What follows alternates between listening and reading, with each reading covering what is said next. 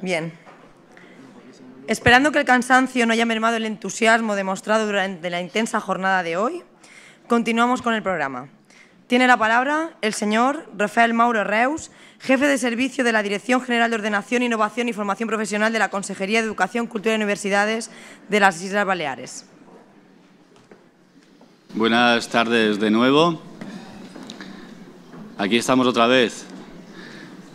Les agradezco que, que hayan resistido a la tentación de lanzarse al paseo marítimo a estas horas para estar aquí de nuevo escuchando a, a Gonzalo Torquemada de la Hoz. Antes de dar paso a lo que es la presentación de, de la última ponencia de hoy, uh, tengo que decir desde parte de la organización de este congreso, tanto de parte de, del Servicio de Formación Permanente del Profesorado, como del Ministerio de Educación, Cultura y Deporte y en concreto de INTEF, tengo que darles o decirles que muchísimas, muchísimas gracias a la gente que ha presentado comunicaciones o experiencias durante todo el día de hoy. Cuando hicimos el diseño de, de este congreso teníamos muy claro que la voz que también queríamos escuchar era la voz de, del docente, de infantil, primaria y secundaria, y de, hasta incluso de adultos. Y por eso les damos muchísimas gracias a todos ustedes por el entusiasmo que han mostrado a través de sus comunicaciones y experiencias. El colectivo docente es un colectivo un tanto peculiar, no voy a descubrirlo yo, que soy docente, y es peculiar porque hay una dos cualidades que no suelen darse en muchos colectivos profesionales. Los docentes aunamos casi siempre profesionalidad, mucha, y aunamos también um, vocación, mucha. Y eso no se da en todos los colectivos, profesionales, se lo puedo asegurar. Bueno, al menos de aquellos que yo conozco. Uh, Arquímedes, Arquímedes dijo, dame un punto de apoyo y moveré el mundo. Yo les digo, dame escuelas y dame, si es posible, escuelas que funcionen bien y moveré la sociedad.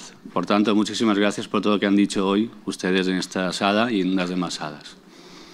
Y ya paso a hablarles del tema de la última ponencia de hoy.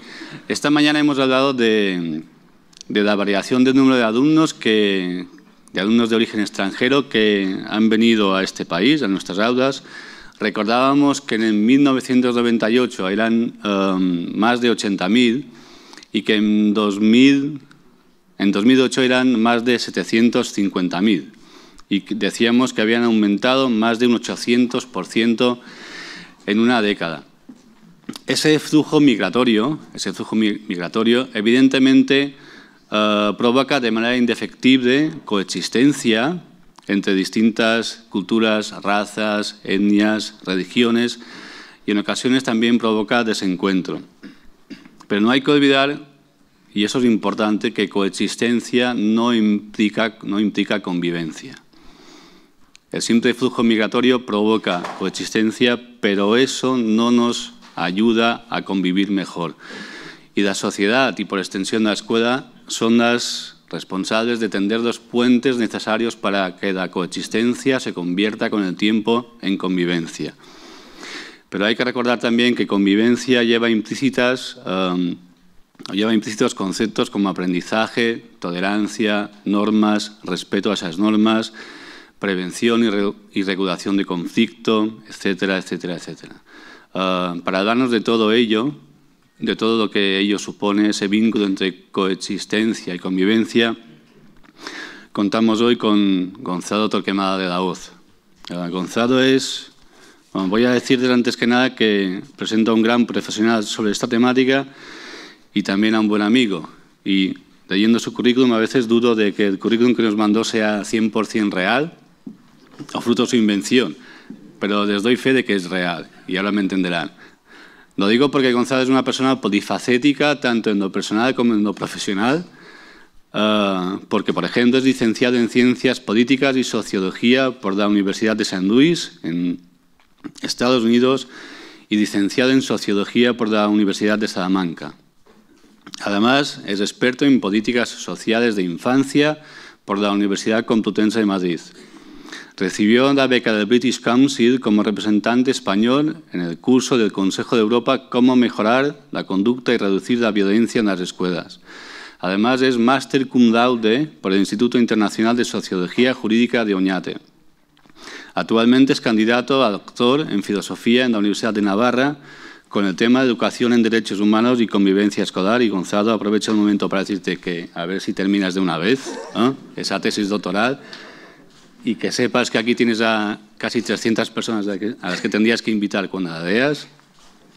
Ha sido coordinador de profesores del programa de integración y acogida para refugiados albano-kosovares de Cáritas Diocesana, en Vitoria, porque Gonzalo es vasco de pro, para aquellos que no sepáis. También eh, ha sido responsable de evaluación de centros educativos de menores con medida judicial en la Fundación Diagrama, Intervención Psicosocial, responsable de investigación en el Observatorio Internacional de Justicia Juvenil y ha desempeñado la coordinación en Castilla y León del programa de UNICEF.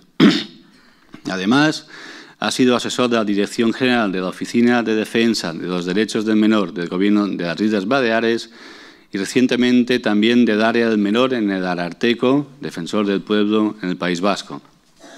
Actualmente ejerce la docencia en la Universidad Privada Angloparlante Marbella University en temas de prevención de delincuencia juvenil. Ha colaborado en Caracas, Venezuela, con la Dirección de Prevención del Delito del Ministerio de Justicia y en La Habana, Cuba, con la Fiscalía General de la República. Tiene publicaciones sobre centros de internamiento de jóvenes delincuentes, sobre derechos de niño, sobre prostitución y pornografía infantil, educación y derechos humanos y sobre políticas sociales en la tercera edad. Gonzalo, no sé si agradecerte que estés aquí, porque sabemos todos los que te, conocemos que te encanta Mallorca pero bueno, estás aquí, que es lo importante, y te damos la bienvenida para hablarnos sobre el tema que tú elegiste, que es la diversidad cultural y sus límites, sopesando la realidad psicosocial heterogénea. Muchas gracias. Gracias.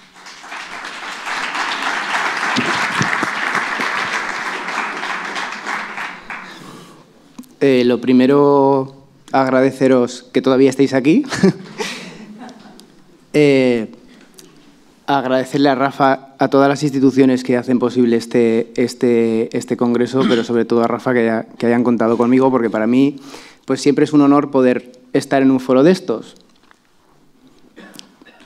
Conlleva eh, un reconocimiento, una labor que yo a veces cuando leo los currículums no todavía digo, realmente todo esto ha estado pasando hasta ahora, ¿no? Entonces, bueno, viene bien ¿no?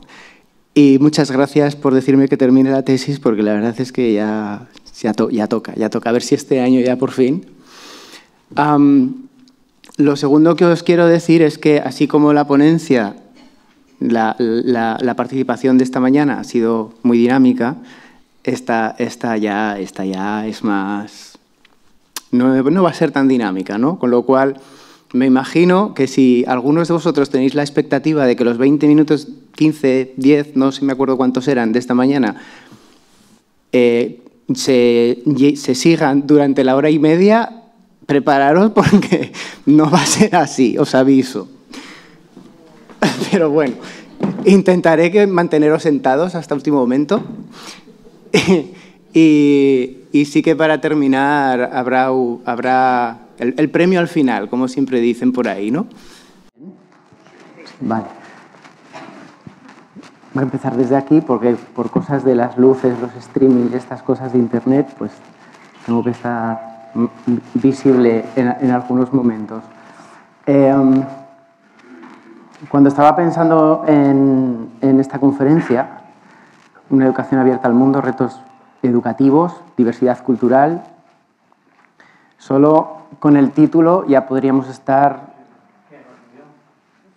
hablando horas, días incluso, porque tenemos muchos conceptos incluidos y estamos hablando de muchos temas muy diversos. He estado esta mañana, eh, me he podido ir a alguna de las comunicaciones un ratillo y la verdad es que todo lo que he oído me ha gustado, no he oído todo lo que me hubiera gustado, pero bueno, la diversidad cultural y sus límites, sopesando la realidad psicosocial heterogénea.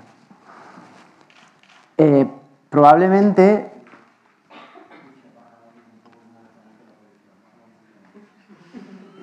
la realidad, es una palabra que todo el mundo utiliza, no tiene nada de heterogénea, ¿no? Si es la realidad, estamos hablando de una realidad, ¿no? Y todos pensamos en una realidad, con lo cual sería homogénea. Y sin embargo no es así, porque aparte de que estemos hablando de culturas distintas, de diversidad, de variedad, realmente estamos hablando de personas. Aquí mismo no tiene por qué haber ninguna persona que no sea de España y sin embargo hay unas realidades, cada uno de vosotros tiene una realidad particular, ¿no? percibe las cosas de una manera particular, las interpreta de una manera particular y reacciona a todo eso de una manera muy particular. Entonces, eh, esto con respecto al título. Con respecto, bueno, y los límites es porque eh, la diversidad cultural, como todo en esta vida, tiene unos límites. Eh, hay muchos discursos durante la historia de la humanidad que se han ido desarrollando en base a los criterios que sean.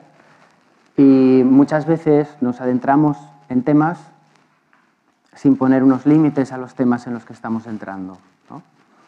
Entonces muchas veces se nos acaba yendo de las manos. Y yo creo que una de las realidades las da precisamente las mentes de todas las personas que se involucran en el día a día en una comunidad educativa, independientemente de su procedencia. Eh, el cuadro es de una artista de Marbella, y un día paseando por allí, pues entré en la galería y bueno, le pedí permiso para, para, utilizarlo porque me parece muy representativo de lo que, de lo que voy a hablaros hoy. ¿no?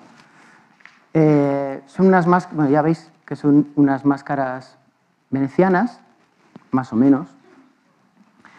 Eh, lo que me llamó la, la atención era que el rostro principal no era un rostro natural, sino que también era una máscara. Entonces, ¿por qué una persona utiliza una máscara normalmente? ¿Cuándo utilizamos nosotros máscaras? Pues las utilizamos todos los días. Pero es que hay gente que por detrás de las máscaras que utilicemos habitualmente, ya de por sí llevan una máscara interna. Y a veces estas cosas pues pasan tanto con gente de fuera como con gente de aquí, como con gente de distinto género, de distinta religión, de distinto todo.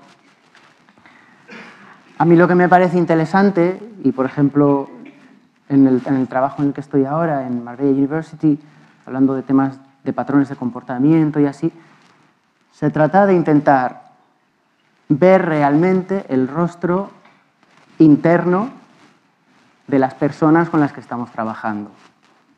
¿Mm? Entonces me planteaba una serie de reflexiones, como son estas. Hay elementos sociales que acompañan al tema de la diversidad cultural, pero hay una serie de perfiles psicológicos que la preceden. Es decir, antes de hablar de eso hay una cosa, que es nuestra, nuestra mente, nuestra psique. Y esto hace que se impriman diferentes colores en el cuadro educativo. No los colores de las banderas, por así decir, ¿no? sino colores internos de cada persona. Esto que se dice de que cada persona ve la vida de un color. ¿no? Hay efectos colaterales, positivos y negativos, al tema, al tema de la multiculturalidad, como a muchos otros temas que hay hoy por hoy en, todas las aulas. Y pueden antojarse ventajosos, que realmente obviamente hay que tener una, visión positiva ¿no? de todo esto, es decir, hay que utilizar la multiculturalidad de una manera positiva y ventajosa, hay que aprovecharla y hay que explotarla en el buen sentido. Pero también puede malograr la finalidad de la educación, de favorecer el aprendizaje. esta mañana eh, hablábamos del tema del, uso, del, os comentaba al principio, ¿no? de la cultura audiovisual, del tema del folclore, si era necesario no era necesario. Todas estas cosas se pueden utilizar muy bien o muy mal, como todo. ¿no? Entonces, bueno, yo me planteaba un poco estas reflexiones. ¿no? En el año 2003 estuve participando en los Real Intercultural Dialogues. Son unos, no sé si conocéis, eh, ahora mismo la, web de la UNESCO, son de la web de la, UNESCO, eh, y bueno, son, uno, son unos cortos, cinco cortos, aquí tenéis que estaban hechos por estudiantes de India, Israel, México, Rumanía y Burkina Faso. Tratan de todo esto y no hay diálogos, solo hay música. Entonces, bueno, eh, estamos hablando del 2003. Quiero decir, no es un tema en el que llevemos muchos años trabajando ni investigando a nivel, digamos, reconocido o oficial. O, Entonces, un poco la visión, cuando se hablaba de temas de multiculturalidad, era esta, ¿no? Los chicos que están cada uno en armonía, contentos y tal. Bien, mi visión no va por ahí ahora mismo. La UNESCO, una vez más, tenía en el 2001, sacaba la Declaración Universal de Diversidad Cultural, donde en el artículo 4 hablaba de que los derechos humanos, garantes de la diversidad cultural, la diversidad es un imperativo ético pero también es necesario respetar los derechos humanos y libertades fundamentales de todo el mundo. Antes de hablar de temas de multiculturalidad, hay que hablar de temas de respeto. De temas de respeto a derechos humanos básicos, porque realmente de ahí es de donde eh, se genera todo lo demás. En el 2005 en París estaba la Convención para la Protección y Promoción de la Diversidad Cultural. Se me ha olvidado traducirlo, ya lo veis. el primer principio rector de esta convención habla de lo mismo. Se podrá proteger y promover la diversidad cultural si se garantizan los derechos humanos y libertades fundamentales. Os voy a poner un ejemplo. Yo hace poco estaba dando una clase estábamos hablando de mm, diferencias de poder en relaciones, eh, necesidades de las personas y había un chico árabe que en un momento dado eh, yo dije que, que todas las personas tenemos derecho a elegir si queremos o no queremos estar en una relación y que esa relación tiene que ser de iguales. Em, eso explicado con todo el tema psicológico, conlleva, etcétera, etcétera. Y, este chico reaccionó muy mal, se puso nervioso y a la defensiva, diciendo que, vamos, que eso realmente ya le podía yo enseñar estadísticas y autores, que eso es mentira. Se puso un poco borde Um, ha hablado de otros tipos de cosas que ahora no vienen al caso, sobre la relación entre los hombres y las mujeres y su papel y su rol, etc. Y al final le dije, digo, mira, primero, aquí el profesor soy yo, y si yo digo que esto es así, obviamente tú tienes derecho a reaccionar, pero tú tienes que respetar dónde estás. Eso para empezar. Porque yo no te he faltado al respeto diciendo esto. Esto es una cosa que es una clase si tú te das por aludido por algo, yo entiendo que tú reacciones, pero a ver cómo reaccionas. Todos podemos eh, tener discrepancias en temas, ¿no? pero según qué cosas hay que tener en cuenta otras variables. Bueno, resulta que después de, ponerme muy serio, que aunque no lo parezca, a veces toca, este, este, este, este tema fue trasladado a, administración Yo era la primera vez que me encontraba en una situación así, en ese contexto, y les dije, digo, mira, ha pasado esto, y yo he reaccionado así, y si volviera a pasar, volvería a reaccionar exactamente igual.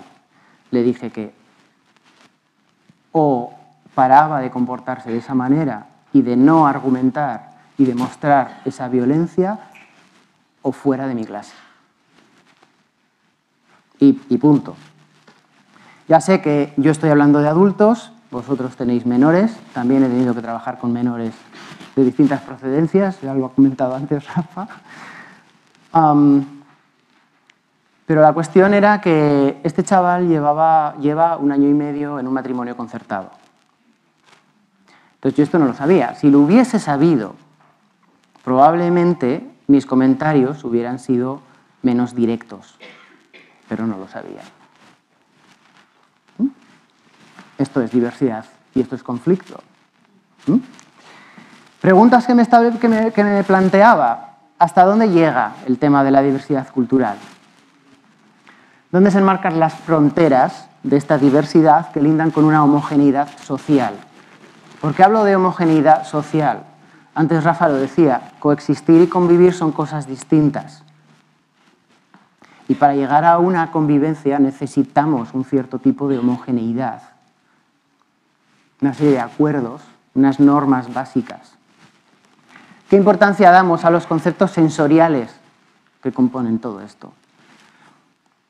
Son, exclusivos en el sentido de podemos tener en cuenta todos estos temas sensoriales para excluir a la gente o son temas que realmente nos van a acercar a los unos con los otros. Porque si no nos van a acercar, tendremos que trabajar con ello de otra forma, tenemos que buscar la forma.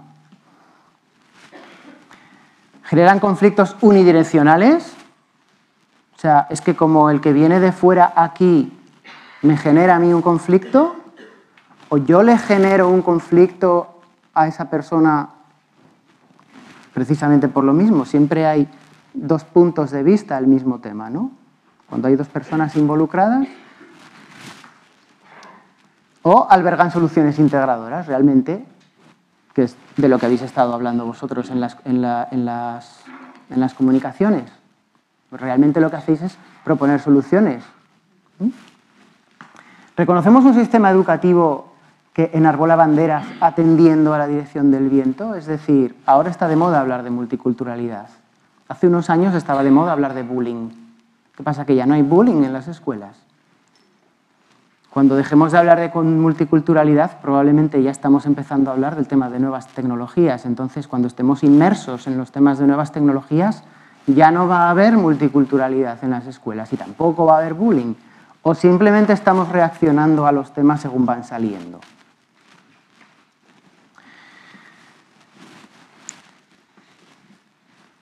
Un poco eh, esta, esta diapo representa un tema crucial en relación a la multiculturalidad, ¿no? que es el tema de la religión.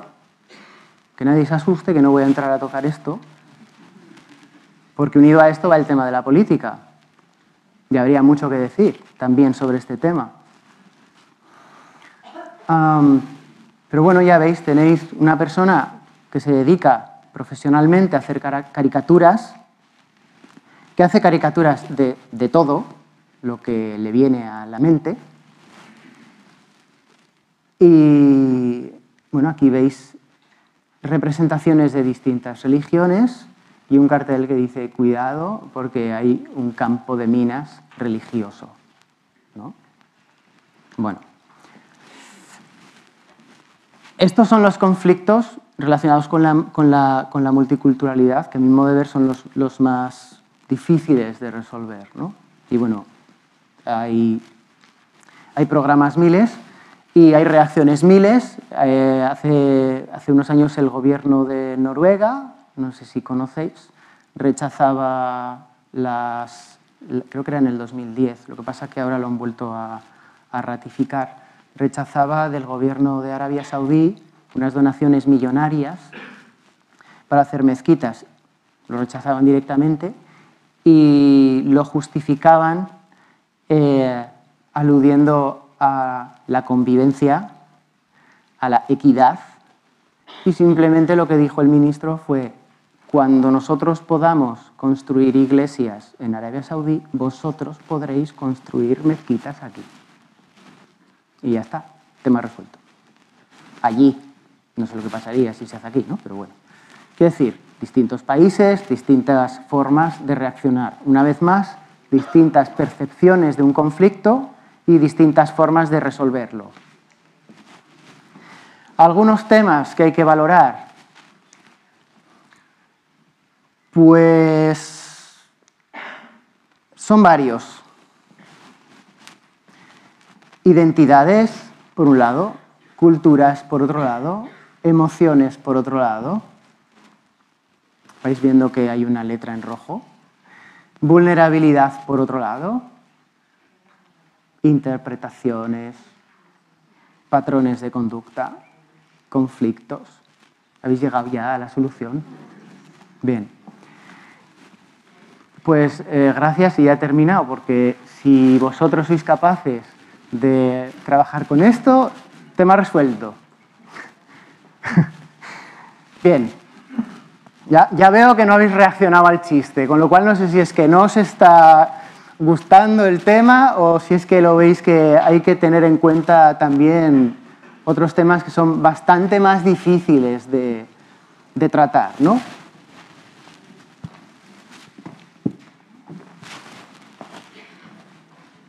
Son temas, por otra parte, que están implícitos en todo lo que hacéis, ¿no? Pero a veces no se les da la reflexión que por lo menos yo considero necesaria. Porque yo normalmente funciono al revés. Cuando voy a un centro a hacer unas evaluaciones para llegar a resoluciones de conflictos o a proponer un plan de convivencia, etcétera, parto de aquí. Intento averiguar qué, de todo esto qué es lo que hay en un centro. Y luego ya voy a cosas, digamos, más visibles. Uno de los temas de los que podíamos hablar es de la dinámica intercultural. Se establece un choque cultural entre los nuevos, los nuevos son los que aún no son miembros, que llegan a una comunidad, llegan a una comunidad que puede ser un vecindario, un barrio, un país, una comunidad autónoma, una escuela. Y hay que tener en cuenta que hay diferencias en las identidades, tanto de los que vienen como de los que están, diferencias en las formas de comunicarse y diferencias en las formas de resolver los conflictos. En el iceberg de la cultura Ahí tenéis un poco lo que estábamos hablando antes, ¿no? Esta es la parte con la que normalmente se establecen todos los programas. Lo interesante es llegar aquí, a lo que hay por debajo del iceberg, que es la parte más grande, como podéis ver, pero siempre entre dos icebergs hay una parte que confluye. ¿Vale? Aquí tenéis en la parte superior es la cultura externa, todo lo que es visible, y en la parte interior, pues eso, las, digamos, las zonas que son más difíciles. Aquí pone de modificar, pero realmente de acceder. ¿Mm? Porque por mucho que queramos modificar, si no accedemos, va a ser imposible. Entonces aquí como estaba comentando, entra en juego el tema de la percepción. ¿Qué es la percepción? La percepción es cómo se ve el mundo. Es lo que se experimenta inmediatamente. Yo cuando entraba aquí, por cómo estaba sentado, por cómo estoy vestido, por cómo me ha presentado Rafa, vosotros habéis tenido una percepción. Esa información os ha hecho percibirme de una manera que puede ser cierta o puede que no, pero vosotros tenéis ya vuestra foto de quién soy yo y qué hago aquí. Esa percepción hubiera sido distinta si esta tarde hubiese sido la primera vez que me hubierais visto. Porque esta mañana habéis pasado por el mismo proceso. ¿Mm? Entonces, ya podéis un poco leer sobre el, sobre, el, sobre el PowerPoint, no hace falta que lo lea todo, pero lo más importante es esto. Podemos entender mejor las situaciones interpersonales si apreciamos cómo las personas construimos nuestras percepciones. ¿Mm? Ay, espera. ¿Habéis jugado a los colores alguna vez? ¿Sí? O sea que ya os, ya os conocéis el, el juego este, ¿no? A ver, ¿quién no? Una, dos y tres. Venga, va. Van a salir una lista de palabras. Bueno, tres. Tres listas de palabras. No, me hagáis trampa, ¿eh? Si habéis jugado a esto, no me hagáis trampa, que entonces no, que no sale bien. Que no es magia ni nada, ¿eh? pero si la controlas ya enseguida... Bueno, van a salir tres listas, una por una. Van a salir palabras, ¿vale? Esas palabras están coloreadas, tienen un color, ¿vale? Entonces quiero que digáis el color no la palabra. ¿Va? ¿Estamos? ¿Quién era primero?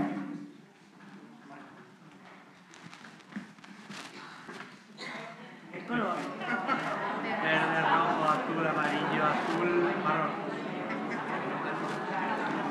Me ha costado, ¿eh? ¿Te ha costado? Sí, iba a decir verde. Venga, va, otro.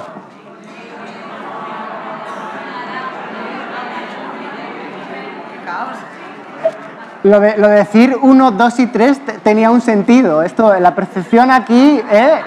esto es un conflicto que hay que resolver rápidamente porque si no, no me entero.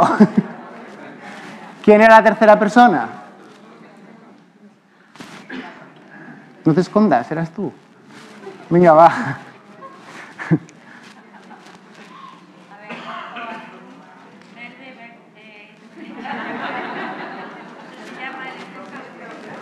Vale, esto es pura percepción. ¿eh? ¿eh? simplemente hay un conflicto entre el hemisferio derecho y el hemisferio izquierdo del cerebro. Esto lo podéis llevar absolutamente todo durante todo el día de toda vuestra vida, porque es un proceso que sigue su curso. ¿Mm? Bueno, en consecuencia, el proceso, la, la percepción es el proceso por el que reconocemos objetos y eventos en el mundo exterior. ¿no? La conducta de las personas se basa en la percepción de la realidad y no en la realidad misma. No existe una realidad única. Cada cual tenemos la nuestra. Que podemos llegar a más o menos entendernos, ¿no? Pero no tenemos que asumir que hay dos realidades exactas, porque imposible. El mundo que percibimos es el mundo que realmente importa a nivel conductual. Y es el proceso de dar sentido a todo lo que nos rodea. Hace unos años había una campaña de todos somos iguales, todos somos diferentes, o todos somos diferentes, todos somos iguales, no me acuerdo. A mí, yo, es que no me gustaba nada esa campaña porque, claro, si tú tienes ya instaurado el chip de todo esto, cuando te hablan de que sí, todos iguales, dices, bueno, pero espérate porque no, o sea, es que eso no es real. Entonces no me vendas algo que no es real. Utilízalo para hacer algo que sea real, pero, pero, pero, pero sé consciente de ello, ¿no? ¿Qué factores influyen? Pues tenemos factores psicológicos, sensaciones, edad, salud, fatiga, hambre, ciclos biológicos, los terremotos cerebrales de los adolescentes. Esto no sé si habréis leído a Punset. Realmente hace una explicación brillante de yo no tengo ni idea de neurobiología. Igual debería de ponerlo en el currículum, que he hecho un curso o algo. Pero, pero se entiende perfectamente. Los procesos son muy traumáticos. Quieren cosas para ayer. Las reacciones emocionales son inmediatas, no son controladas, no se paran a pensar en nada. ¿Vale? Ahora, el problema, y esto no lo dice Punset, lo digo yo, es que a veces nosotros reaccionamos exactamente igual. Ahora estamos tan acostumbrados a los iPhones, iPods, los teléfonos móviles, que en cuanto mandamos un mensaje o un WhatsApp, o en cuanto tenemos una duda de un término, ya no vamos a una biblioteca, vamos a Google y queremos la información ayer. Porque si tarda, joder, ¿esto qué le pasa? Está, está, está, está, tiene que estar enfermo o algo el, aparatito este, porque ya hasta les, les, damos una personalidad que no tienen los aparatos. Esto es un tema para otro congreso. Factores sociales, las diferencias culturales de lo que ya hemos hablado, conducta corporal, olores, silencio. El tratamiento del silencio es importantísimo. Es algo que a veces no nos lo planteamos, pero yo en la experiencia que he tenido con muchos adolescentes, a veces primero tú te tienes que callar, olvidarte de todo lo que tienes por aquí y no silencio ellos, ¿eh? silencio nosotros, yo por lo menos. A mí me han enseñado mucho. los roles sociales, sexo, género, roles ocupacionales, el autoconcepto, la autoestima, el control, la atribución, lo que es el dar sentido a la conducta, todas estas cosas influyen en la percepción. ¿Cuál es su naturaleza? Es un proceso dinámico, esto ya lo hemos dicho, es un extractor de información, porque estamos constantemente analizando todo lo que tenemos a nuestro alrededor. Si yo paso por ahí y me he echado colonia, probablemente a alguien le gusta y a alguien no. Y si no me he echado nada, ni desodorante ni nada, probablemente a mucha gente no le haga ninguna gracia. Esto no es algo que estemos pensando en ello. Si no estás sentado diciendo, a ver cómo huele el de, al lado. Pero es un proceso que está teniendo lugar en nuestra cabeza. Es la preparación para la respuesta activa, en el mismo ejemplo. Eso es un poco gráfico, pero bueno. Eh, según lo que huela, pues vas a reaccionar, ¿no? Te cambias de sitio o te tapas la nariz o, todo eso se va a exteriorizar de alguna manera. Están interrelacionadas con las sensaciones, o te gusta o no te gusta, igual hueles un aroma muy bonito y ¡ay, qué, rico! Proporciona una organización, porque si tú estás más o menos analizando las cosas para reaccionar, te estás organizando y es altamente individualizada, lo mismo que la cultura. El proceso perceptual tiene cinco fases, voy a ir un poco rápido y por cierto no tengo ni idea de tiempos. Estimulación y sensación, que es la habilidad de un individuo de detectar los estímulos. El registro, la selección, proceso utilizado para eliminar algunas de las cosas también. No quiere decir que todo lo que entra se quede, sino que también el cerebro es muy, mucho más inteligente de lo que pensamos y también es capaz de discriminar. Organización, que lo hemos comentado, la interpretación y la traducción, que es otra fase. Si ya es complicado el tema de la percepción, pues el de la interpretación ya ni, os, ni os cuento. Y la respuesta, que puede ser encubierta y declarada. Encubierta están las aptitudes, las motivaciones, los sentimientos y declarada la conducta. Si volvéis mentalmente a la foto del iceberg, ¿no? tenéis la encubierta abajo y la declarada en la parte de arriba, que es lo que se ve. Factores que influyen, expectativas, influencias físicas, emocionales, psicológicas, Experiencia personal, emoción, motivación, hábitos, costumbres, educación, importantísimo. la medida del tiempo en un día. Vosotros, ¿cómo valoráis el tiempo? Por ejemplo, si estáis a gusto aquí, ahora, probablemente cuando termine diréis, ostras, qué rápido se ha pasado, lleva, lleva dos horas dándonos la chapa a este hombre.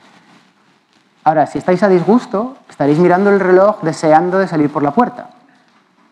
Y se hará eterno. Igual no debería de haber puesto este ejemplo.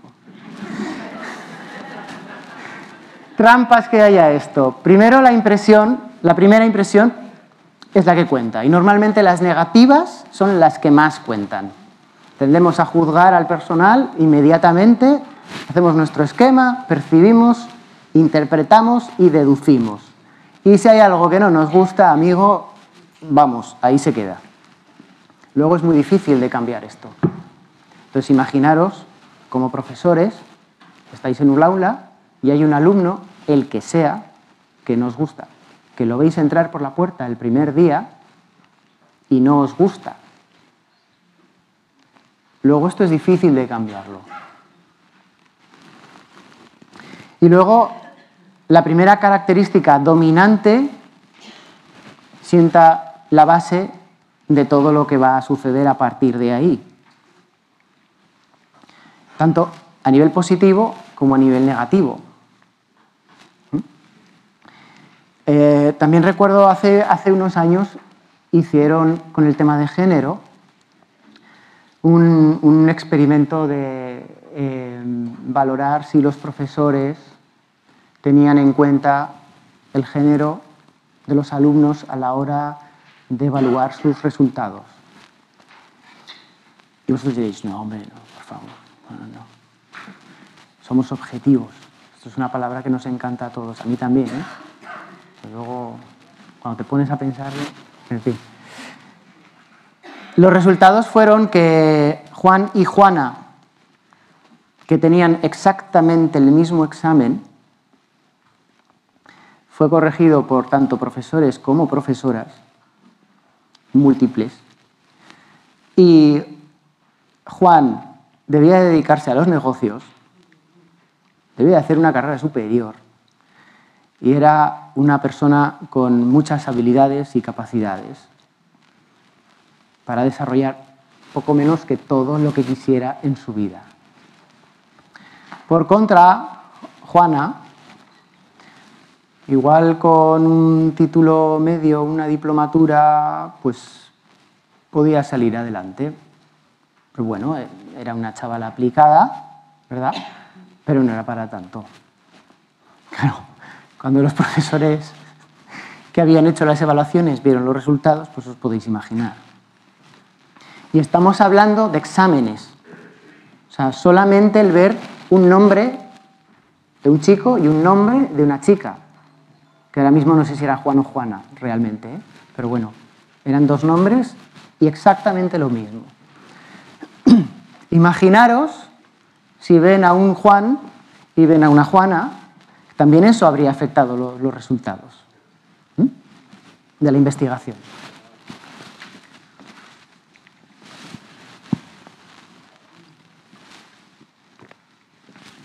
Esto es un ejercicio así práctico rapidillo para vosotros. A ver cómo estáis en percepción. O cómo pensáis que os evalúan a nivel de percepción. Primera pregunta, ¿participa todo el alumnado en las discusiones que hacéis en clase? Parto de la base de que se tienen que hacer discusiones en clase. Pero bueno, eso ya es cosa mía. si no hacéis, yo, dicho de sea de paso, no, no, os conozco, con lo cual que nadie se dé por aludido de nada, que no estoy acusando a nadie de nada. ¿eh? ¿Participan todos por igual? No. Si no es así, ¿qué puede favorecer una participación más inclusiva? Vosotros habéis hecho experiencias y estáis hablando en todo momento de experiencias de participación, con lo cual la mayoría de vosotros ya tenéis respuesta a esta pregunta. Ahora, la, la más importante para mí es quién, no qué. ¿Y quién? Es que sois vosotros, no hay más. ¿Mm? Ahora, ¿cómo me perciben los estudiantes? ¿Sienten que les trato como pensáis que se sienten los estudiantes con respecto a vosotros? ¿Sienten que les trato por igual? A todos, por igual. Que les respeto, que no les juzgo.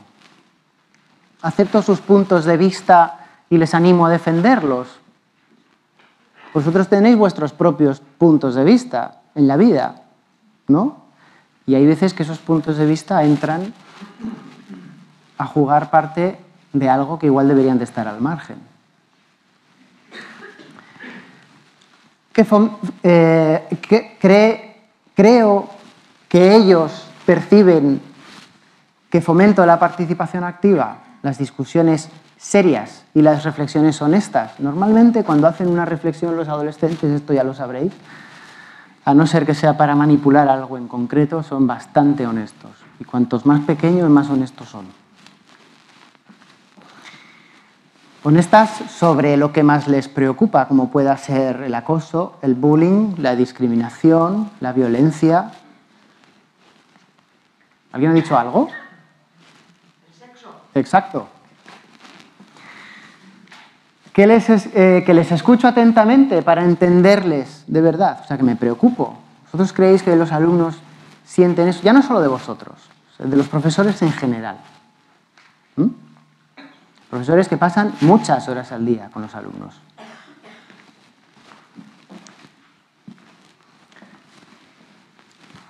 Dependiendo de cuáles sean las anteriores respuestas, la pregunta final sería esta. ¿Por qué?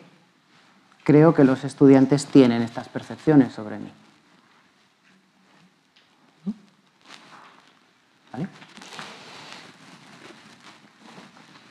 Si todo esto que hemos hablado hasta ahora es un poco a nivel psicológico, ahora lo podéis trasladar a nivel social. O sea, si ya era bastante con lo que estábamos hablando, el conflicto se multiplica cuando llegamos a un tema social. Hay muchas más variables que entran en juego. Tenemos por un lado las características del perceptor, por otro lado las características del objeto o del otro. Todo eso choca con una barrera y dependiendo de cuál sea la situación en la que todo esto esté sucediendo, también la misma situación puede chocar contra esa barrera. ¿Mm? Ahí entra el tema de la identidad, que de hecho mañana vais a tener una ponencia sobre identidad, o sea que no me voy a adentrar mucho, pero sí que quería eh, plasmar estas dos definiciones. ¿no? Eh, implica una definición de sí mismo, uno tiene que definirse, autodefinirse, no que alguien le diga lo que es, sino que esa persona llegue a saber quién es. Y también identificas a otro, percepción, interpretación, etc. Es una construcción, es el resultado de una serie de experiencias que llevan al individuo a una disposición desde la cual no tiene miedo a perderse. Una vez que yo estoy seguro de quién soy y qué hago, no tengo por qué plantearme dudas de base.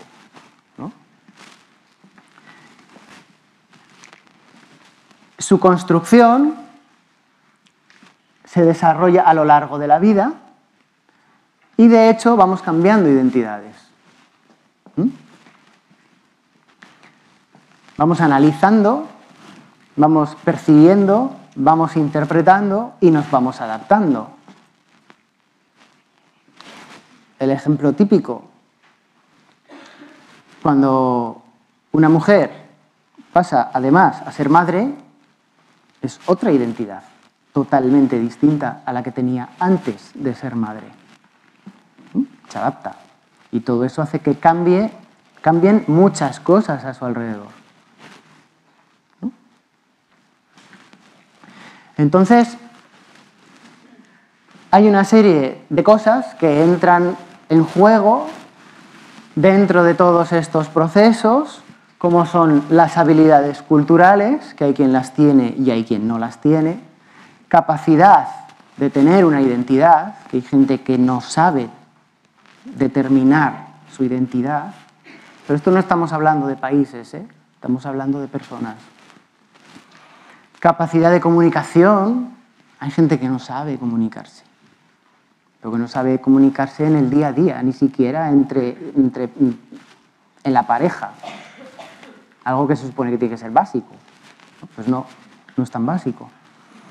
Capacidad de adaptación, hay gente que según las, las circunstancias en las que está se adapta rápidamente, o porque no le queda otra, o porque tiene una habilidad innata.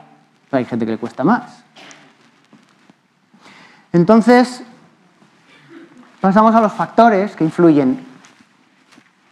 Los individuales, intrapersonales, institucionales, comunitarios y las políticas públicas también influyen en esto, que influyen en la conducta de la gente. ¿no? Hay una serie de variables sociológicas, demográficas, ¿no? la raza, dónde se vive, la edad, el género, educación, religión, ingresos, muy importante, y determinantes psicosociales, como son el autoconcepto, que lo hemos visto antes, la religiosidad, el tiempo libre, qué se hace con el tiempo libre, redes de apoyo social. y esto que está a medio traducir son hábitos de consumo mediático, los, los hábitos que tenemos que influyen Ahora están empezando a, salir investigaciones sobre los problemas psicológicos que están acarreando a los niños el consumo excesivo de virtualidad, por llamarlo de alguna manera. Ya no solo son la PlayStation, ya es todo lo que tiene que ver con las redes sociales y con Internet y todo esto. Entonces, ¿yo cómo llegaba todo esto?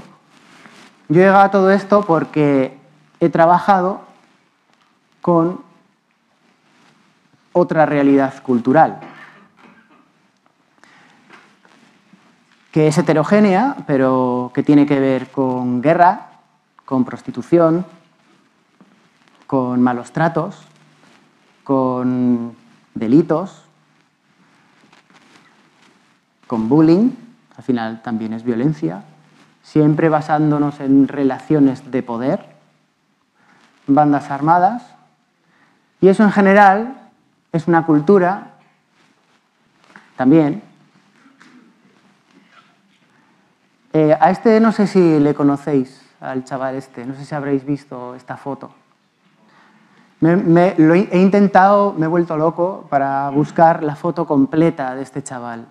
Esta foto ha estado en internet bueno, y está en internet, eh, porque se la sacaron a este chaval, supuesto fan de este equipo de fútbol, el Feyenoord de Rotterdam, y hubo solamente un periódico que yo tenga constancia en Francia que publicó la foto completa. Esta foto se ha manipulado en Photoshop para reivindicar la, el fanatismo de los equipos de fútbol. En Estados Unidos también, se ha utilizado para mucho. Simplemente hacían con Photoshop, cambiaban el, logo y era una forma de provocar al contrario. La realidad es que si, pudiéramos bajar la foto, veríamos al papá de la criatura, que la llegué a ver, pero no pude bajármela y vi los comentarios de una persona que los había visto, él, está subido en los hombros del padre.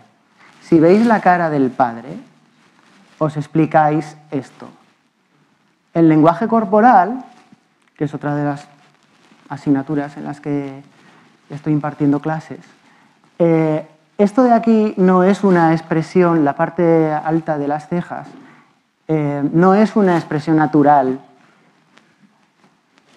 de un niño de esa edad ante un partido de fútbol. Esto es simplemente imitación, ¿vale? Pero esto es, un, es algo que él ha interiorizado, con lo cual eh, este chaval tiene un potencial violento impresionante, porque tan pequeño ya está reaccionando, su cuerpo está reaccionando a un momento de tensión y de violencia. ¿Mm? Si esta misma foto no tuviera las cejas así, pues sería simplemente que el chaval está copiando lo que está viendo a su alrededor. Pero esto nos hace indicar,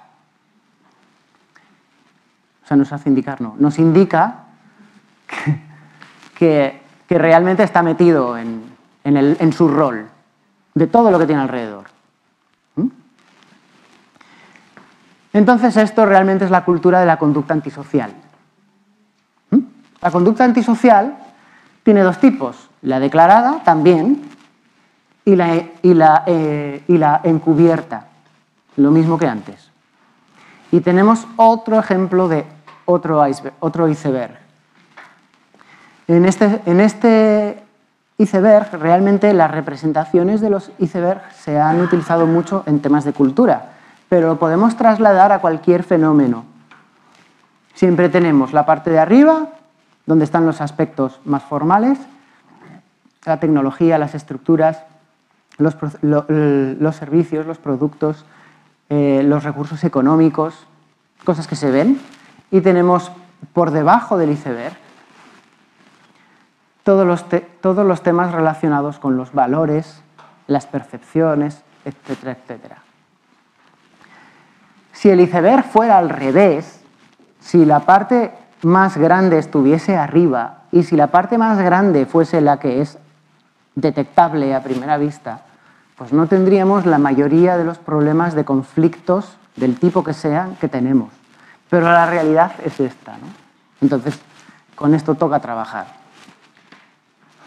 Para cuando llega la adolescencia, muchos niños en riesgo experimentan ambos tipos de conducta antisocial, la externa y la interna, lo que resulta en una escalada sustancial de su estatus de riesgo.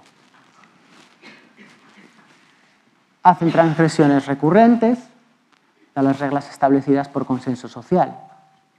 Un aula tiene sus reglas establecidas. Pues lo mismo. O sea, cada vez que cuando yo hablo de todas estas cosas, podéis pensar, pensar, en diferentes tipos de conflictos, ya sean multiculturales o de cualquier otro tipo que tengáis en las aulas. Hostilidad, agresión, desafío, aversión a otros, desviación de las normas aceptadas, comportamiento anormal ante diversos escenarios, porque en un momento dado un chaval puede reaccionar a una cosa puntual. Pues vale, es su naturaleza también, ¿no? Como igual que vosotros, pero por eso no quiere decir que seáis antisociales, ¿no? O sea, hay que medir las cosas. Datos relevantes, os voy a poner varios. El más importante es este para mí. A los tres años ya se puede identificar. Los niños consumen, por así decir, este tipo de conducta más que las niñas.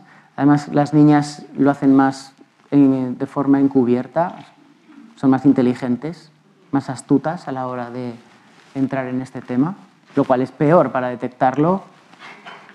La conducta antisocial temprana suele preceder una conducta delictiva también.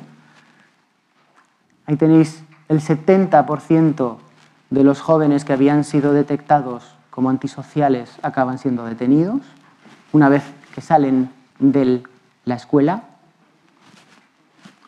Esto es importante. Una vez que salen, con lo cual hay que ponerse una medallita, ¿no? Porque si esta estadística fuese mientras están, pues estaría todo, vamos, apaga y vámonos. Por lo menos es cuando salen.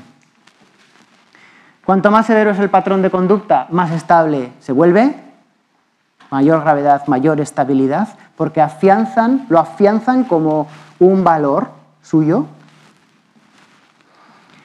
Y la gravedad se asocia igualmente a trastornos de la personalidad, psicopatías, etc. La que persiste después de los 8 o 9 años puede convertirse en crónica, con lo cual no se podrá curar, pero se puede enseñar a gestionar. Y realmente donde está la prevención es en casa, en la escuela y en la comunidad. Muchas veces nos olvidamos de este factor. Nos olvidamos de que la policía local tiene que estar formada en estas cosas. Nos olvidamos de que el personal de limpieza del centro tiene que estar formado en estas cosas. Si es que nos olvidamos de que los choferes de los autobuses tienen que estar informados de estas cosas. Si realmente estamos hablando de una comunidad. Ni que decir tiene los vecinos, etcétera, etcétera. Y otro tipo de cultura con el que nos encontramos ahora es este. Que este, de momento, voy a hacer otro curso de especialización. De... No. Con este tema también estamos trabajando ya. Las investigaciones más recientes están saliendo ahora, están habiendo ya resultados cuantitativos de investigaciones sobre los problemas que están generando las, las nuevas tecnologías a los chavales. Si eso lo unimos con la conducta antisocial, con la violencia, pues imaginaros el cóctel que se genera aquí, ¿no?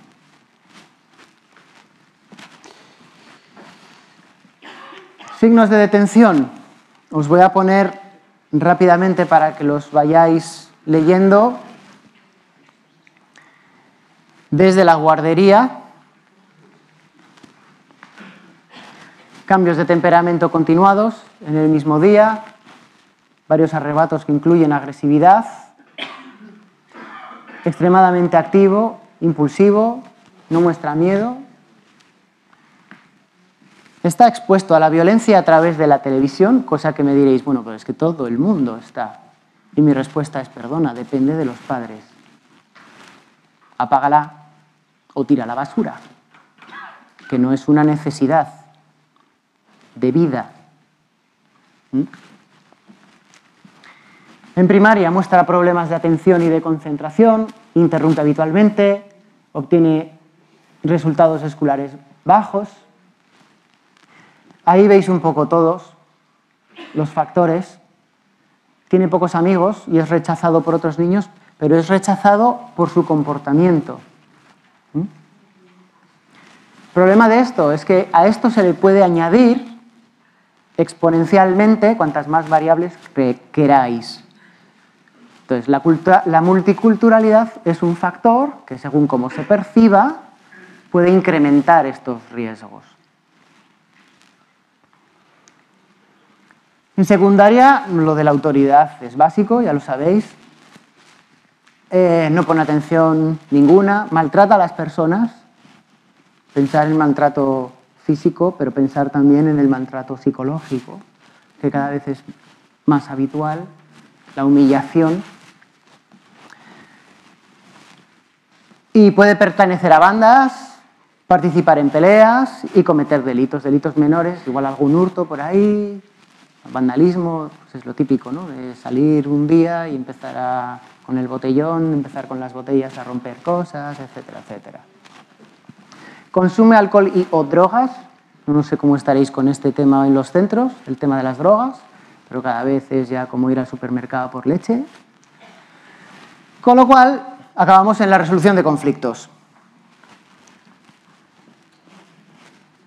No sé si se lee. ¿Podéis leer la parte de abajo? Bueno, la chica rubia, ¿no? Se cruza con esta otra, dice, todo cubierto excepto sus ojos. Menuda cultura cruel y machista. Ella dice, nada cubierto excepto sus ojos. Menuda cultura cruel y machista. Exactamente lo mismo. Entonces, en la resolución de conflictos, lo que normalmente se intenta es ver cuál es el denominador común, qué es lo que ha generado ese conflicto, es importante, cómo resolver ese conflicto es importante, pero ¿en qué se identifican esas personas que están en conflicto? Porque siempre hay una forma de encontrar ese punto. ¿Mm? La resolución de conflictos como tal lleva una escalada en los últimos 20 años, otra moda, por así decir. Hay programas para jóvenes. Os propongo que busquéis programas de resolución de conflictos para adultos, porque vosotros sois adultos y también tenéis conflictos entre el profesorado. Yo me he encontrado en los centros con unos problemas gravísimos y los chavales lo ven, o sea, no son tontos. Existen organizaciones nacionales, regionales, se, hacen conferencias, grupos de trabajo. Todos los jóvenes necesitan tener y desarrollar recursos y alternativas contra la violencia en general, del tipo que sea, así como habilidades de comunicación y de resolución de conflictos. Esto está claro, ¿no? Esto podemos, todos estamos de acuerdo con esto, ¿no? Igualmente, todos los jóvenes necesitan tanto la habilidad como la oportunidad de participar, que en algunas de las comunicaciones esto lo dejabais muy claro, que me ha gustado un montón, participar en la creación de una comunidad. Ya no es participar en un programa, no es participar en crear algo. Ellos tienen que sentirse generadores de algo y miembros de algo. Está demostrado que todos los conflictos de vandalismo que hay en, centros escolares, cuando consigues que los chavales se sientan parte de ese centro, disminuyen radicalmente, porque ya se lo toman como algo propio. Ya no es el sitio al que van para que durante unas horas les estén dando información. Ya es su sitio donde van a aprender. Entonces respetan más todo. El diagrama típico de la resolución de conflictos empieza con ser conscientes de que hay un problema.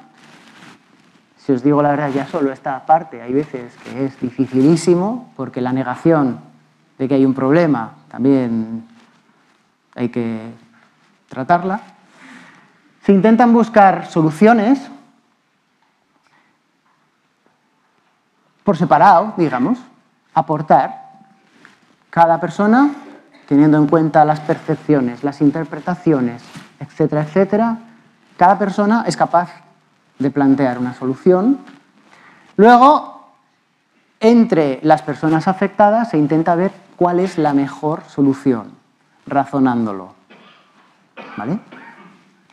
Y al final se aplica. Hay un quinto punto que no solemos olvidar y que no lo he puesto adrede, que es el de revisar si esa estrategia ha funcionado, evaluarla y si no ha sido así, cambiarla. Entonces, ¿cuál es el siguiente paso? ¿Cómo transformamos la promesa resolutiva del conflicto en algo más que una herramienta? ¿Mm? Porque por sí sola la resolución del conflicto no va a tratar las, causas enraizadas a la agresividad no la va a tratar, va a resolver un problema puntual. No conseguirá eliminar ni las burlas, ni el acoso, ni el bullying, ni la exclusión social, ni la discriminación, ninguno de los factores que perjudican la convivencia. Tampoco va a crear una comunidad educativa. O sea, es una resolución de un conflicto. Cada conflicto lleva su resolución y es una herramienta, pero no hace magia. De hecho, si no tenemos claros nuestros objetivos, simplemente va a ser una herramienta que vamos a utilizar. Cuando hay un problema vamos a acudir a la resolución de conflicto y ya está. Entonces, ¿tenemos algún objetivo aparte de resolver un problema puntual? Pues a partir de una resolución de conflicto sí que se puede sentar una base sobre la que conjuntamente alumnado y profesorado conjuntamente de igual a igual, no en una balanza que no está equilibrada, donde el adulto va a establecer las respuestas, por así decir, del alumno, sino conjuntamente, se establece un proceso de participación, porque muchas veces En este sentido, sí que nosotros ya presentamos un, un programa, pero es que a veces si les dices a los chavales, necesitamos un programa, ¿qué ideas tenéis? También esto funciona. Los temas relacionados con la violencia, la inclusión, la seguridad pueden ser incorporados al currículum. De hecho, en algunas asignaturas son incorporadas al, al currículum. En las tutorías deberían de ser única y exclusivamente, y esto lo digo siempre, porque he estado en muchos centros donde las tutorías se utilizan para todo lo que no son tutorías, como es que hemos perdido clase, vamos a recuperar, o si la, dependiendo de cuál sea el tema de hoy, pues igual prefiero tratar yo como profesor, voy a plantearos otro tema, en vez de ser realmente el, marco en el cual ellos puedan sacar todas estas cosas. ¿no?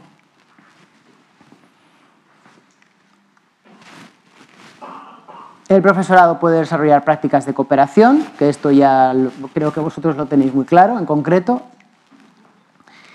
Y el alumnado con el apoyo de los adultos puede liderar la identificación de problemas, de los cuales muchas veces los adultos no tenemos ni idea de lo que realmente está pasando.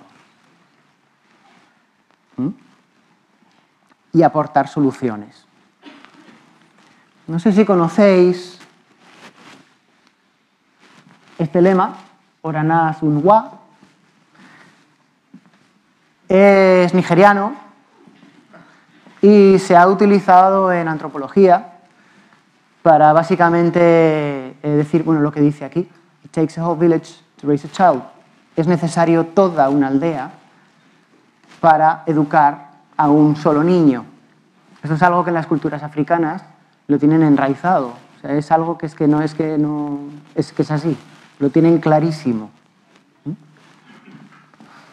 Y esto es una de las cosas a las que yo pretendo llegar cuando estoy hablando de todo esto, ¿no?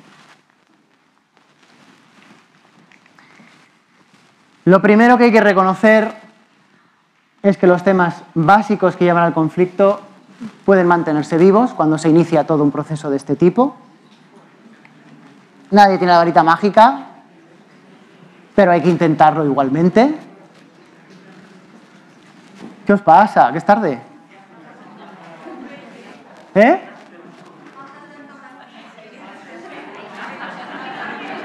¿Qué qué? Faltas de ortografía. Es, es que, es que estoy todo el día con el iPhone y entonces al final estas cosas pasan. Y con el inglés también, entonces bueno.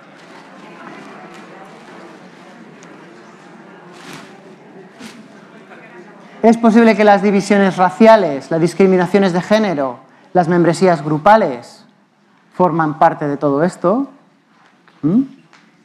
Se mantengan, no quiere decir que empecéis un programa de resolución de conflictos o empecéis un programa de convivencia o empecéis un programa de estabilizar todo el entorno escolar y ya veáis los resultados. Yo suelo decir que un mes de intervención implica un curso de trabajo para empezar a ver resultados.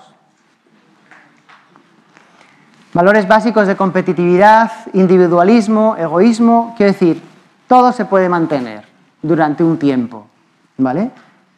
Entonces, ¿qué hacer para trascender la implementación de estos programas?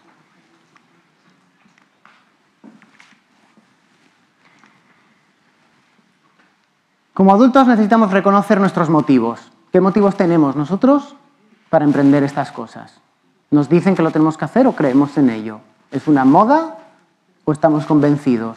¿Queremos quedarnos en un programa o pretendemos ir más allá e intentar tener un entorno favorable para el aprendizaje y para la convivencia? ¿Queremos acallar a los jóvenes con estas cosas? ¿Son excusas? Decir, bueno, bien, vale, sí, pero ya. ¿O queremos realmente hacerles, motivarles? ¿Estamos preparados para escuchar sus ideas? Porque igual esto implica cambios. Estamos preparados para estos cambios, para asumir estos cambios.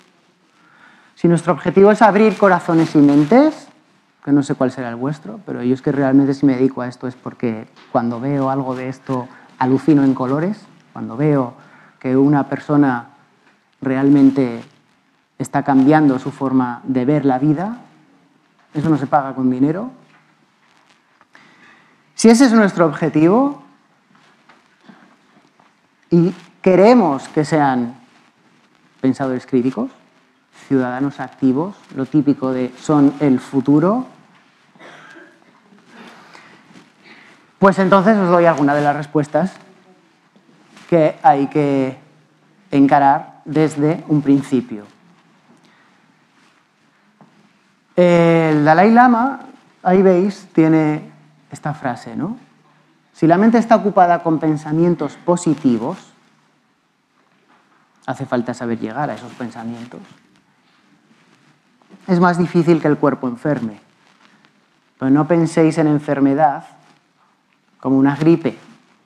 Pensar en enfermedad como una conducta antisocial, como un comportamiento disruptivo en el aula, como una discriminación hacia una persona de otro país o de otra raza o de otro barrio. ¿Mm? Esta es una enfermedad humana, igual no es biológica, pero también está ahí. Las investigaciones demuestran que el riesgo de que los jóvenes desarrollen distintos patrones de conducta antisocial, incluyendo el consumo de drogas, alcohol, conductas, puede disminuir desarrollando recursos y habilidades protectoras y preventivas. Esto está demostradísimo, a largo plazo, pero está demostradísimo. Con lo cual, participar en actividades de voluntariado es una cosa que ayuda, habilidades sociales y de autogestión, no de autocontrol, porque cuando una persona se controla demasiado internamente, también puede llegar a enfermar. De esta forma que os estoy contando. ¿no? Es mejor que aprendan a gestionar eso, no a controlarlo en el sentido de no dejar que eso salga. Tiene que salir por algún lado y saldrá por algún lado, y más con los adolescentes. Mejorar relaciones interpersonales, interpersonales, de la comunidad educativa de las que os estaba hablando, no entre ellos, entre ellos también, pero práctica de determinados deportes no violentos, como por ejemplo el voleibol. El voleibol es un deporte que tiene un trasfondo terapéutico muy bueno. Todo el mundo tiene que hacer todo. No hay un líder que marca goles o que mete canastas. No. Hay que pasar por tres fases, siempre hay que pasar por esas tres fases y todo el mundo tiene que ser plenamente consciente de dónde están sus compañeros de equipo. Si no, no funciona. Esto también ayuda a estructurar. Lo más importante a tener presente es esto. Esto es lo más importante. No importa la lentitud con la que vayas, siempre y cuando no te detengas. Esto es lo más importante. Voy a ir un poco más rápido porque ya me queda poco, ¿no? Diez minutos. ¿Cinco minutos? Introducir reuniones en clase, establecer prácticas de cooperación, incorporar un currículum de convivencia y derechos humanos. Los derechos humanos no, no, me estoy refiriendo a los derechos humanos en el aspecto clásico de decir, aprenderos la declaración. No. Es una filosofía realmente de reconocimiento del otro como alguien diferente. ¿Mm? Que se viene utilizando antes de estar hablando de temas de multiculturalidad. Desarrollo de todos los jóvenes como agentes de paz, potenciar su liderazgo, eliminar el fraudulento uso de las tutorías. Lo siento, pero es que como yo utilizo las tutorías cuando entro en los centros y los mismos chavales me lo cuentan, con lo cual ya lo tengo grabado. ¿no? Involucrar al alumnado en el desarrollo de normas de disciplina. Si ellos son conscientes de que se están administrando sus propias normas, las cumplen mejor, no digo que las cumplan a rajatabla, pero mucho mejor. Evaluar distorsiones curriculares, hay que tener cuidado con las editoriales, porque se pueden ver ejemplos de, por ejemplo, según en qué comunidades autónomas, cómo se va describiendo otro territorio del mismo país, o cómo se van adjudicando a los colores de las banderas los problemas que esos países tienen. No sé si colombianos aquí. ¿Hay alguien de Colombia? No. Pues el último ejemplo que vi fue una bandera de Colombia en una editorial que está en una comunidad autónoma, es decir, habrá pasado, supongo, unos filtros, ¿no? Y hay unas instituciones que aprueban que esa editorial esté ahí y había un mapa del mundo con distintas banderas, donde básicamente Colombia tenía un color, el más grande, dedicado a la droga, el siguiente dedicado al tráfico de armas y el siguiente dedicado a las plantaciones de marihuana. Tú, o sea, ¿cómo es posible que hoy por hoy eso no esté totalmente prohibido? Con lo cual hay que tener cuidado con lo que se lee en las, en las editoriales. Hay que tener cuidado con los contenidos que luego van a leer los alumnos. Hacer responsable el profesorado y a todo el personal de su conducta hacia profesores, hacia alumnos, porque todos forman parte del proceso. Fomentar la implicación de la comunidad. Sé que esto es muy, muy difícil, lo sé porque yo personalmente no os puedo dar ningún ejemplo mm, exitoso en este sentido. Yo mismo, o sea, lo reconozco, lo sigo intentando, pero bueno, algún día llegará. E incluir formación al profesorado sobre estos temas, que también eso ya lo sabéis. Bajo mi punto de vista, todos los centros deberían de tener una política de actuación sobre convivencia en general, que contemple situaciones de todo tipo que vulneren esa convivencia. Mantenerla en práctica, mantenerla viva. Muchas veces estas cosas se hablan, se piensan, se procesan, se hace un proyecto muy bonito que se encuaderna y se queda en una taquilla. ¿Y por qué? Pues si es vuestro propio trabajo, hombre, no, no es justo. Educar al profesorado igual que al alumnado. Esto ahora igual algunos os enfadáis conmigo, pero cuando yo voy a los centros y les digo a los profesores que también les tengo que formar en derechos humanos, algunos se me echan a reír. ¿De qué me vas a contar tú a mí de derechos humanos, hombre? Primero soy un adulto, sé lo que son los derechos humanos. Bueno, vale, pero das clases de derechos humanos. Ah, pero llámese la declaración. Así, ah, venga, empieza. Artículo 1. Quiero decir, a veces todos tenemos necesidades de formarnos en muchas cosas, ¿no? Yo el primero. Responder a todos los informes, denuncias y quejas de manera eficaz. Para los chavales la eficacia es tiempo. Antes igual me decís que me estoy contradiciendo, porque antes os he dicho que esto es un proceso muy largo, un mes de trabajo intensivo, un curso de trabajo y empezar a ver resultados. Pero es que realmente para eso están también los programas de resolución de conflicto. Yo no digo que esas cosas no haya que tenerlas. Lo mismo que hay que tener el tema del folclore en una cuestión multicultural. Pero no puede ser lo único.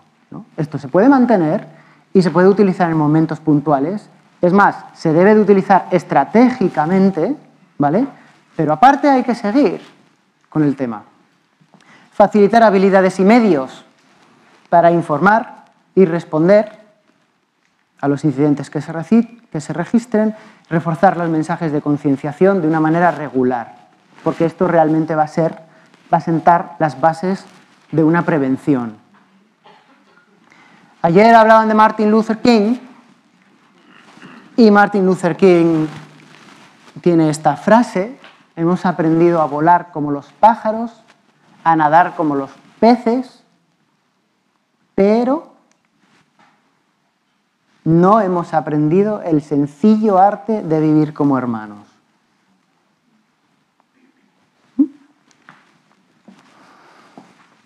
Ya voy a terminar con algo para recordar. Pero antes de eso, os quería comentar, quería dar lo que ha pasado antes. No sé si habréis entendido lo que la traductora ha dicho. No, no. Bueno. Exactamente, no lo habéis oído pero habéis percibido unos gestos que están dentro de una cultura. ¿Mm? Lo que le estaba diciendo a ella era, en primer lugar, que quería pedir disculpas al equipo de sonido y a los informáticos porque los, les he vuelto loco hasta 20 minutos antes de que empezara la ponencia y agradecerles realmente que, pues eso, que han estado aquí y han estado muy pendientes. Y también quería agradecerlas, es lo que estaba diciendo, agradecerles a las, a las traductoras que habían estado, mm, pedirles también disculpas porque yo era la primera vez, es la primera vez, que tenía traductoras de signos, había tenido traducción simultánea, de hecho además hasta la podía seguir, entonces en este sentido yo no conozco esta cultura. ¿Mm? Y de paso, no sé si al final he hablado muy rápido o todo bien, pero bueno. Entonces lo que quería es, ya que íbamos a hablar de percepción, interpretación, procesos psicológicos, conductas y culturas en general, pues quería empezar de esta manera, ¿no? Un poco viendo un ejemplo in situ de lo que puede ser todo esto. Entonces, finalmente, os dejo con algo para recordar.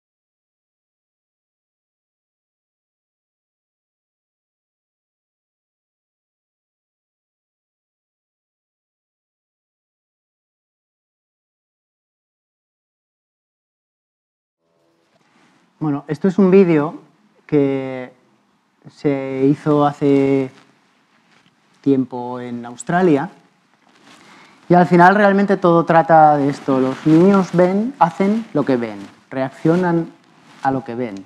¿no?